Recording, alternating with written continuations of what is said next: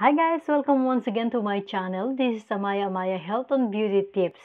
So, um, nag-iisa tong ah, aking dragon fruits at saka kaya tinam kinatamaran kong kainin, maasim siya.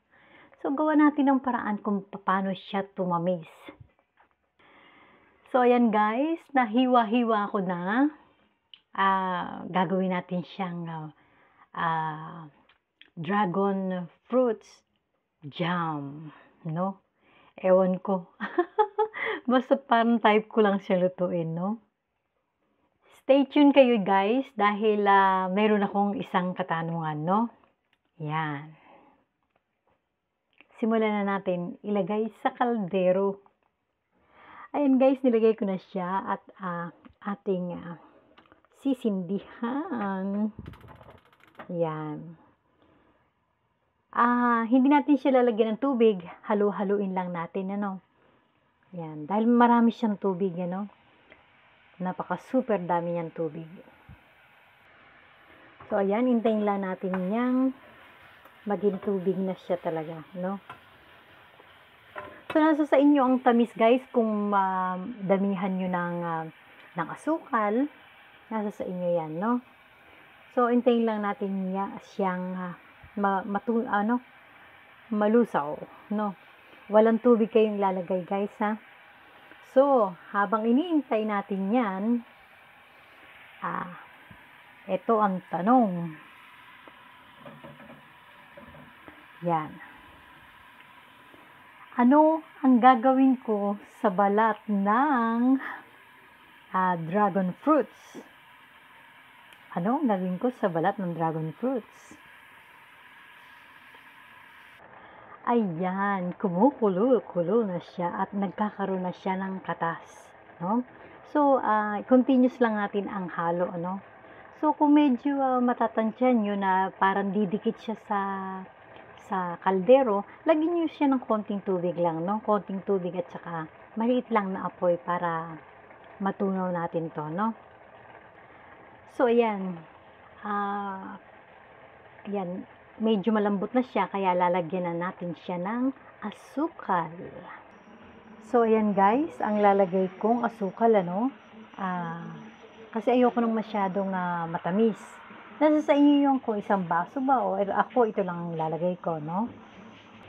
So ayan, nilagay ko na. Naku, natapong pa yung asukal ko. Yan, halo-halo lang. Yan. So, hahayaan lang natin siyang matunaw lahat, ano? Ito ay medyo merong buo-buo pa. Ayan, no? Yan. Ah, basta halo-halo lang. Yan, continuous lang yung halo, ano? So, habang kumukulo, halo-haluin lang natin. Ganon. Pag may time, halo-haluin para wag dumikit, ano? Yan. Yan. Basta mahina lang ang apoy. Pwede na yan, hindi na didikit yan, no? Mahinang mahina lang. Tingnan natin. Ayun. Lang. So, Ah, habang uh, inintay natin yon tingnan natin ang ito ang aking tomato wine. Ayan, hahaluin ko ulit siya, no? So, kanina ko pa yan hinalo nung pagdating ko dito sa bahay ng anak ko. So, ngayon hahaluin ko ulit.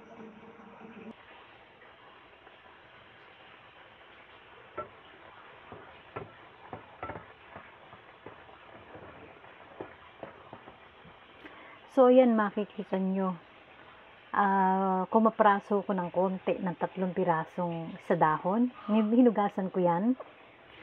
So, ah, nilagay ko dyan para madali siyang ah, lumapot, no? So, ayan guys. Tingnan nyo yung texture niya. Talagang, um, ano ba dito? Ah, malapot na. Yan, no? May mga buo-buo pa. Pero liitan lang ang apoy ah, madali naman siyang matunaw. Liit ang maliit na maliit ang apoy, no? Yan. So, hindi naman siya nasusunog kahit lagyan niyo siya ng asukal. Kahit, basta maliit lang ang apoy. Ang ganda guys. Ang lapot-lapot niya na, oh. Oh. Hindi siya nasusunog, oh. Lapot na niya. Konti pa para pag nilagay ko sa garapon, ma okay na okay lang siya. Ngayon, kung naiinip kayo guys, ang gawin nyo, lagyan nyo ng konting ah, cornstarch para ah, approve na approve sa inyong ah, gustong lapot. Ano? Guys, ayan o. Ito na yung ah, pinapahula ko sa inyo kung ano ang gagawin ko sa balat ng dragon fruits.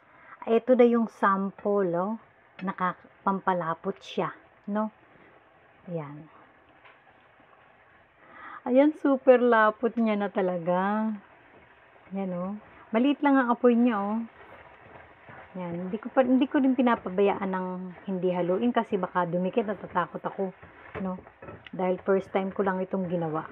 Uy, wala kasing cameraman. Ayan o, ayun o, malapot na siya, kaya ayos na ayos na siya sa jam. So, ito ay, ah, kung matagalan, ang gawin ninyo is, ah, talagang na durugin nyo yun, no? yung ah, buo-buo na yan. Durugin nyo yan, guys, para kung gusto nyo matagalan. Ngayon, ako kasi, sandali lang itong, sandali ko lang ito, mga hanggang bukas ko lang ito, kaya pwede na sa akin yung may buo, no? So, patayin ko na. So, ayan guys, ah, papalamigin ko muna bago ko ilagay sa ah, garapon, ano? Yan. Tingnan nyo guys yung texture. Ang bango-bango.